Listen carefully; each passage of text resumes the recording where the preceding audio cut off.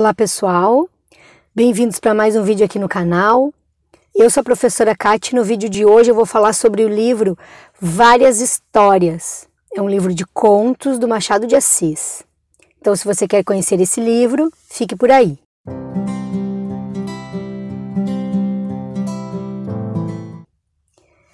Bem, gente, então, o livro Várias Histórias reúne vários contos de Machado de Assis. Inclusive, eu vou passar aqui na tela o índice, né, a listagem de contos que se encontram então nesse livro. São 16 contos do Machado de Assis. Sendo assim, a gente então tem narradores em primeira e terceira pessoa, já que são contos. Esse livro, Várias Histórias do Machado de Assis, foi publicado em 1896 e esses contos reunidos nesse livro foram contos publicados na Gazeta de Notícias, um jornal que o Machado de Assis escrevia lá do Rio de Janeiro, entre o ano 1884 e 1891. E o que a gente percebe nesses contos é que eles têm muitas das características machadianas. Então, tem a questão da metalinguagem, tem a questão da digressão, conversa com o leitor, tem a questão da aparência versus essência, tem a questão da psicologia dos personagens, muito descritivos também, muito reflexivos e muito críticos com relação à sociedade burguesa do final do século XIX, né, no final dos anos 1800, no Rio de Janeiro. Bem, então, gente, para ajudar vocês no entendimento desse, desse livro, eu trouxe aqui algumas considerações sobre dois contos, dois contos bem importantes da literatura do Machado de Assis, que estão presentes nesses, nesse livro Várias Histórias, de 1896.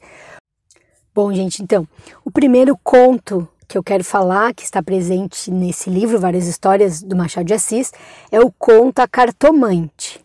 A gente tem a história aí de três personagens, o Vilela, o Camilo e a Rita, e vai, vai haver uma traição nessa amizade, então um amigo vai trair o outro, e a gente vai ver um final bem trágico nesse conto. É um conto muito bacana da gente conhecer e traz uma questão ali de uma reflexão sobre a amizade verdadeira, sobre a fidelidade entre os amigos e também o assassinato por motivo de traição e também traz a questão da espiritualidade, porque vai, tem um personagem que é a cartomante, inclusive, que dá nome ao conto. Além disso, gente, um conto muito descritivo em que a gente consegue conhecer um pouco sobre a cidade do Rio de Janeiro, de fim de século XIX, lá no finalzinho dos anos 1800. Então, o Machado de Assis constrói esses personagens e eles caminham pelos ambientes. Então, a gente consegue remontar muitas, muitas ruas, muitos lugares, muitos estabelecimentos daquele período. Pode ser considerado, inclusive, um conto que tem essa pegada histórica, né? De, de relatar a história e a mudança da cidade do Rio de Janeiro. Outra coisa que eu fiquei pensando sobre esse conto é que ele pode ter uma possível influência aí para o conto, para o livro romance, um dos mais conhecidos do Machado de Assis, que é o Dom Casmurro. É claro que numa outra situação. Na cartomante, eu não vou uh, contar toda a história, mas a gente tem aí uma traição entre os amigos que vai acabar numa tragédia. Um dos amigos vai matar a esposa. Depois vocês leiam lá para vocês descobrirem direitinho. Mas ali a gente tem uma, uma traição que se concretizou e o Dom Casmurro, eu penso que pode ser uma influência, só que ao contrário, porque afinal de contas, no Dom Casmurro a gente não tem certeza se a Capitu traiu o Bentinho, não é mesmo? Mas me parece assim uma que pode ser uma ideia, que o Dom Casmurro pode ter nascido a partir desse conto, a escrita dele pode ter sido influenciada por causa desse conto, mas só que invertendo a situação, né? A história da traição. Bem, aí a gente tem um outro que eu quis trazer para vocês, que é um conto chamado O Enfermeiro, o enfermeiro, gente, vai contar a história do Procópio, que é o enfermeiro, o nome do conto, né, o título do conto, e o doutor Felisberto, que é o paciente. Então, o Procópio é o enfermeiro do doutor Felisberto e ele vai matar, sem querer mesmo, o paciente, ele vai matar o doutor Felisberto. E ele vai ficar, guardar isso para ele, ele não vai contar que ele matou, né? Ele vai, vai guardar esse segredo. Passar do tempo, ele acaba descobrindo que o doutor Felisberto deixou toda a fortuna dele para ele. E então a gente tem, é, esse é o enredo, vamos dizer assim, né?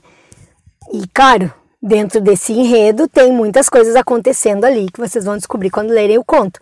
Mas o que eu queria chamar atenção é que esse livro, esse conto, desculpa, o enfermeiro, também tem assim uma referência depois no, no livro Quincas Borba, de 1891. Vamos lembrar, né, a história do Quincas Borba. Tem o Rubião, que é o enfermeiro do Quincas Borba, só que o Rubião não vai matar o Quincas Borba, o Quincas Borba vai morrer de doença natural, né, morte natural. E, e o Quincas Borba, então, que é o filósofo, vai deixar a fortuna dele pro, pro Rubião. Eu fiquei pensando assim que tem essa aproximação também bem interessante. Bom, gente, então era isso. Brevemente aí para vocês conhecerem um pouquinho sobre esse livro de contos do Machado de Assis, várias histórias. Se vocês gostaram do vídeo, curtam o vídeo, inscrevam-se aqui no canal, ativem o sininho para receber as notificações. Se tiverem alguma sugestão ou alguma pergunta, algum comentário, façam aí na descrição do vídeo que eu respondo. E também, gente, queria pedir para vocês se inscreverem lá no. Seguirem, né? Desculpa, não é se inscreverem, é seguirem o Boteco lá no Instagram e curtirem nossa página lá no Facebook.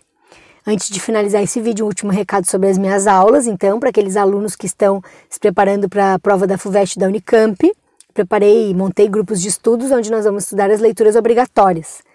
Quem quiser participar desses grupos ou ter informações sobre o funcionamento desses grupos, é só mandar uma mensagem pelo meu e-mail particular ou pelo Instagram do Boteco que eu respondo. As formas de contato são essas que vocês estão vendo aqui na tela. Dito isso, eu vou parando por aqui, agradeço quem ficou até o final do vídeo e até a próxima.